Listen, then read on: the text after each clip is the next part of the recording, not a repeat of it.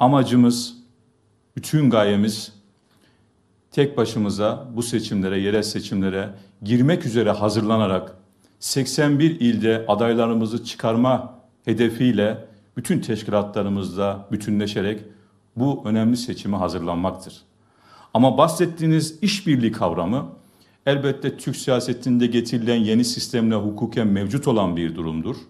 Ve yerel seçimlerde de farklı bir doğası var yerel seçimlerin. Farklı işbirliklerine açık olan bir yapılanması var. Bununla ilgili de önümüzdeki aylarda e, gelişmelere göre yetkili kurullarımız bunu değerlendirirler, toplanırlar ve ne olup ne olmayacağını milletimizle paylaşırız. Ama özellikle altını tekrar çiziyorum. Biz İyi Parti olarak yerel seçimlerin en gözde ve en parlayan partisi olacağız. Bunu da özellikle ifade etmek isterim.